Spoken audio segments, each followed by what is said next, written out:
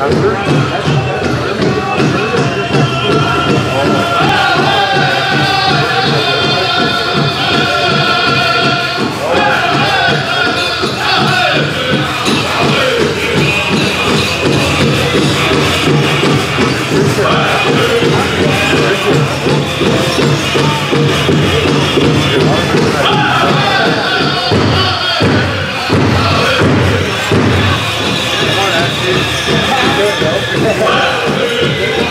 Thank